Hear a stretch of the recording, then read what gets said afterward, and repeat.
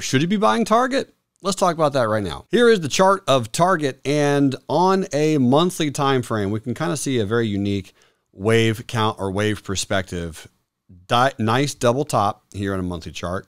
We broke down, we retest the neckline, and we got a free fall. When that happens, this would be a, in my opinion, one, two, three, four, wave five structure down. Now we can use either wave one or wave three to kind of complete and to show us where we could trade down into and so I'll do that for us right now. Uh, I will go to the beginning of these waves rather than the exact end. And we're already at the two. So we would say the 2382 or the 2618, which is about 100 bucks a share. This is where I would be targeting target as of right now to make some purchases, which is very close to the 100 simple on a monthly chart. Here's the weekly chart. And again, really, really beautiful, beautiful interaction and failure of the 200 simple on the weekly. You can see the interaction right here back in early May. And here is the daily chart. The daily chart, you got the big bull candle, the rejection. This is right after earnings. And then, of course, everyone already knows you got that 10 EMA play. First bull candle closing below the 10, short there, stop there, bang town, all kinds of money. I did not take that trade personally on target, but that would have been a phenomenal, phenomenal short.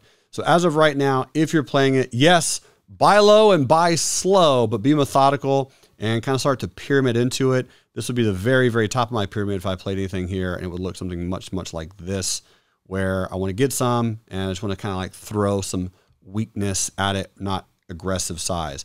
Another stock that got really, really murdered from the whole wokeness agenda is Budweiser and Budweiser went from 65 to 53. Again, I don't think that this stock is going to go away. I don't think this company's going to disappear. I think they're probably most likely too big to fail. And what's unique about this particular play on Budweiser is, in my general thought process, this is going to allow people to find out new, interesting, unique plays for beverage opportunities, aka other alcohol companies or other companies that are creating non alcoholic drinks, potentially. So I actually like buying some Budweiser down here from a long term perspective. It takes about a year for people to kind of forget uh, certain issues or social anxiety pressures that come up with certain stocks. But a stock that I do like a lot is Celsius. I think they're doing everything correct as it relates to the energy and the uh, drink industry. This is Kevin Harrington's largest stock holding, uh, and is Celsius Holdings. So this particular stock doing pretty well, and it just really resembles the chart nicely of Monster. Monster being the best performing stock in the S&P over the last 25 years. So Celsius is just in that game. It took out some of the market share, and I do think that this overall trend continues with this really, really beautiful gap and then you're getting some beautiful follow through up 5.6% today. Two other stocks I think you should all keep your eyes on. Number one is Coinbase. Coinbase is building some serious pressure right now. Really, really good consolidation. Here's the long term moving averages. You got the 100, 200, they're just battling each other. Waiting for this gap to fill. I did have a put sale on Coinbase, and I'll probably buy it back. Uh, sorry, I bought it back yesterday. Sold it on 522. So this pressure building, if Coinbase can get a close or a breakout above 64.21. I think it looks like a nice long spot, and I'm pretty intrigued by that overall. I think we should be watching that closely pretty much each and every day. I'm not saying it has to break out. I'm saying if we get a good close, I'm okay with it. And if not, if it trades back down to here, you know, longer term, probably buy the dip. And then Chewy had a really nice gap today on earnings. There are some bears that are trapped on Chewy.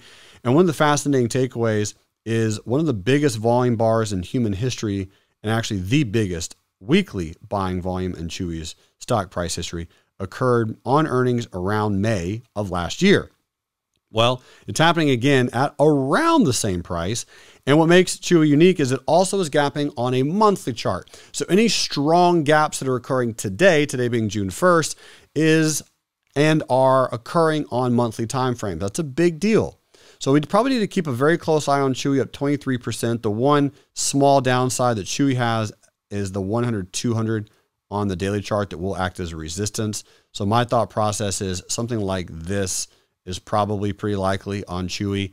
Definitely one to watch. I think the 100, 200 are going to be pretty strong resistances. This gap will fill a little bit since it is up 23%, But I think actually it's quite buyable, and we should probably be watching it just to see if we can catch some nice movement into here. Because don't get caught behind the wheel. If this goes from 33 to 37, you know, in the next few weeks, that's four dollars a share.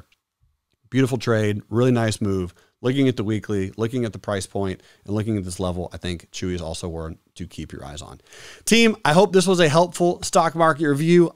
I love you all so much. Make sure to comment below what next stocks can we look at for you? What can we analyze for you? And how can we provide more value, more enrichment in your life? Thanks for tuning in. You rock. And until next time, love life, live life, and trade. Bye.